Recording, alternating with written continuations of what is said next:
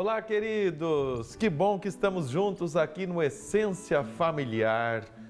E a vida é essa arte de a gente saber viver bem, conviver, construir relações saudáveis e com muito afeto. E demonstrar esse afeto. Padre Dalton, no nosso quadro hoje, vamos falar um pouco sobre carência afetiva, pensando assim, ó, na, e carência afetiva entre os cônjuges, mas pensando assim, de repente aquela mulher que diz, mas eu faço tanto pelo meu marido, eu demonstro isso, eu tenho essa atitude de carinho, não recebo isso. Ou vice-versa também.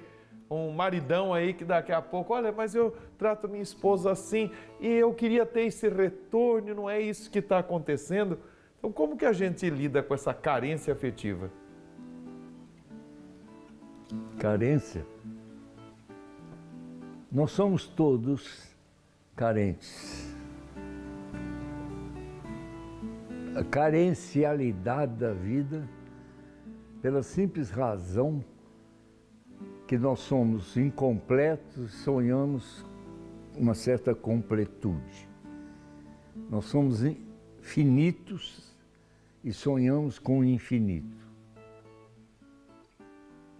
Nós somos frágeis e sonhamos ser fortes. Falta alguma coisa, sempre. Há sempre um vazio. E a experiência fundamental do desejo imenso de amar, mas é porque eu quero ser amado. As pessoas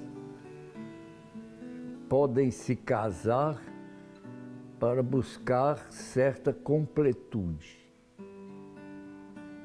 Mas a questão toda é, durante o tempo dos namoros, até chegar a um namoro, durante o tempo todo de noivado, para poder chegar ao sacramento do matrimônio, ele e ela deviam saber assim: eu tenho para oferecer isso e preciso receber isso.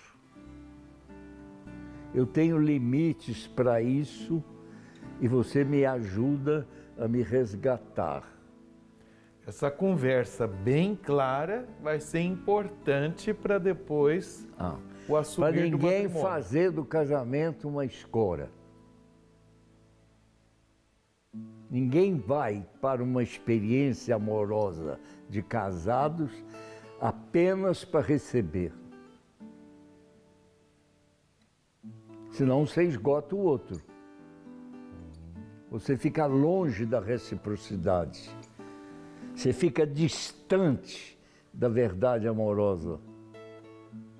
Você quer receber idealizadamente um casamento e se não confronta, os dois vão cada um com um sonho diferente de casado. Não vai dar certo. Não vai dar certo. Agora, é importante a pessoa no seu processo evolutivo, amoroso, de aprender a dar Dar eleva e saber receber sublima. Esse caminho de reciprocidade e não de sugar o outro, de que lado for, dele uhum. ou dela, nesse estado. Existem casamentos cuja estrutura é um amor de enfermeiro como um é quer isso? tomar conta do outro.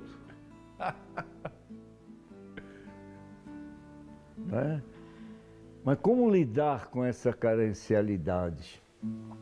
A fé entra aí dentro do desejo do infinito. Existe alguém que me potencia, porque o amor dizia para uma pessoa amada: se depender de mim, pelo amor que eu tenho, você não morre. Mas ele não pode falar isso. Só Deus pode dizer. Porque eu te amo, a morte não te derruba. Eu te quero junto de mim.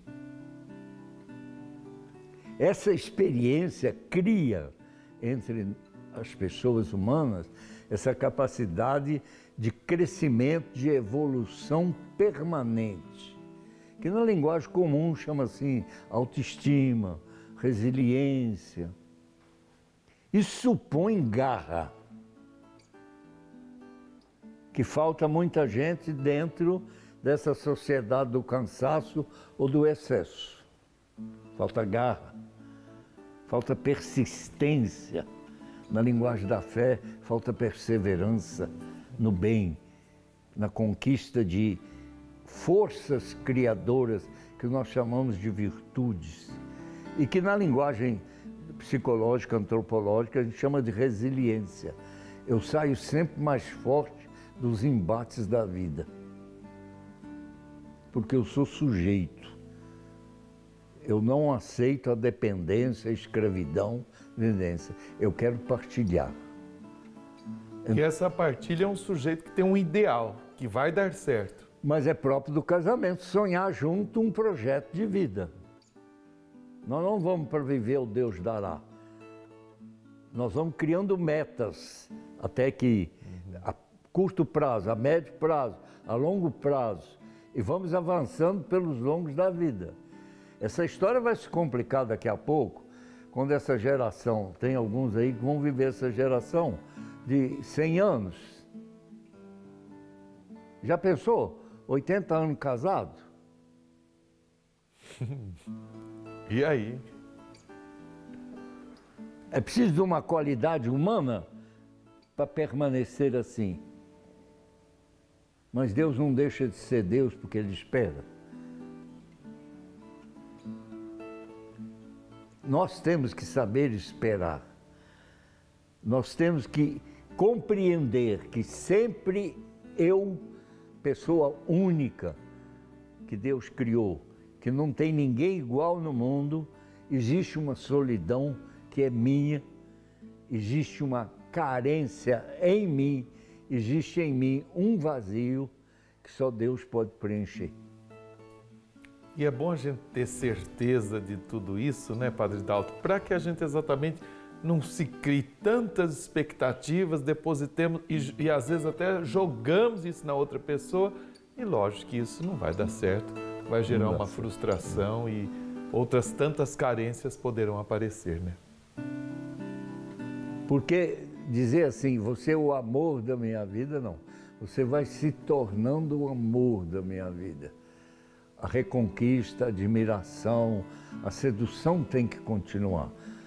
Senão, um cansa do outro e o outro cria a indiferença e aí o intruso a gente expulsa ou cai fora. A força da carência é levar o casal a desejar a presença do outro sempre. Que seja esse nosso ideal, né? Até porque a afetividade, Padre Dalto, me lembro de um dos nossos retiros, e o senhor, um grande pregador, eu me lembro de uma das suas uh, reflexões, das suas falas, quando você dizia que a afetividade é exatamente isso. Eu afeto as coisas, eu toco as coisas e elas também me tocam, elas também me afetam. Afetividade, eu sou afetado. Né? Você quer ser afetado mais caro do que conviver com uma pessoa? E nós convivemos em comunidade. Nós somos sempre afetados o tempo todo. Agora, eu faço disso uma partilha, uma alegria, um crescimento, eu faço disso um aborrecimento. Agora, uma coisa é certa: por detrás de cada membro do casal aborrecido, tem um eu desconhecido.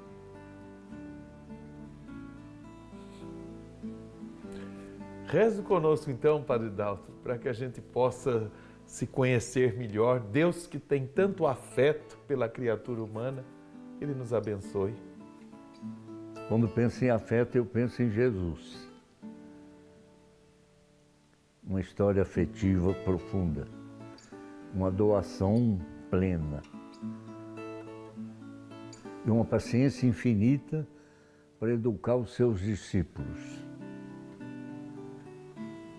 Então, Jesus, no mistério da vida terrena, que abriste para nós os caminhos de alegria, partilha, ternura, serenidade, como que viveste nas horas de sofrimento e instituíste para nós na véspera do futuro que se desenhava iminente da crucificação, reuniste para uma ceia, para uma despedida e deixaste uma lembrança que a vida de cada casal, a cada ano que termina, é uma memória eucarística a ser cultivada e repetida em lembrança do teu amor. Amém. Amém. Cultive essa memória eucarística aí no seu lar, no relacionamento de vocês, viu, queridos casais? E celebrem o amor, cada etapa, cada fase, cada idade. Assim também nos lembra o Papa Francisco no bonito documento para as famílias sobre a alegria do amor. Que Jesus, que viveu plenamente os afetos lá no lar de Nazaré com Maria, com José, possa nos abençoar e que José e Maria abençoe a todos os casais. Valeu, minha gente!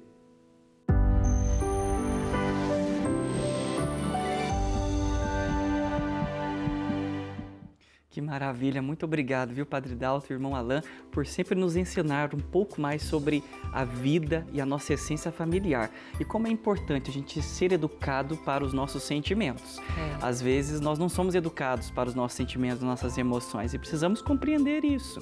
Por isso, bem orientação, ter uma boa orientação, conversar, ser aberto com quem a gente ama, porque nós somos seres afetivos, ou seja, nós nos afetamos, somos seres em relação. Então eu afeto o outro, o outro me afeta e que, que isso representa nas nossas relações interhumanas, nas nossas relações familiares. Então, tomar consciência disso e dar nome aos sentimentos, às emoções é importante para a gente continuar a nossa caminhada com tranquilidade, com paz, com muita fé.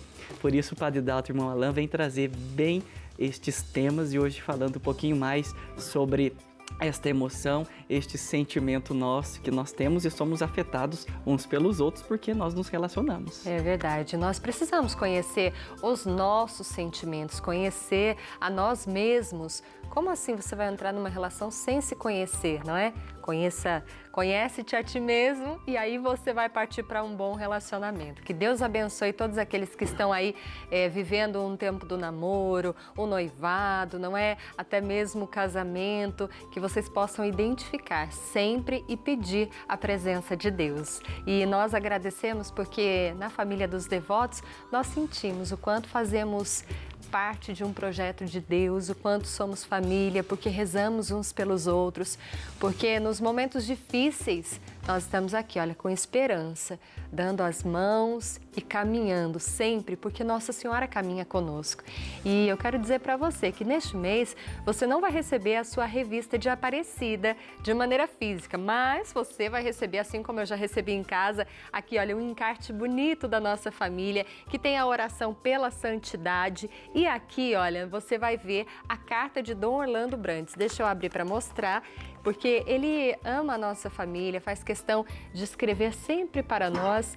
Aqui tem também ali, logo em cima, o adesivo do calendário da jornada bíblica. E abrindo mais um pouquinho aqui, olha, você vai conferir então o QR Code que vai dar acesso à sua revista. De maneira online, digital, você vai então acessar os conteúdos preparados com carinho para você. Tá aqui, olha, cadê? Tá bem aqui, olha, você pode apontar a câmera do seu celular e ter acesso então a esses conteúdos tão bonitos, falando sobre o Santuário Nacional, Palavra do Reitor, falando do nosso projeto Jornada Bíblica, não é, Padre? Isso mesmo. Então nós convidamos você a acessar e fazer parte da nossa família sempre, nos ajudando a manter a casa da mãe, nos ajudando a cuidar das obras sociais, dos projetos tão bonitos que transformam a vida de muita gente. Se você ainda não faz parte da nossa família, ligue agora 0300 210 1210 e passe a nos ajudar. 11 primeiro mês do ano,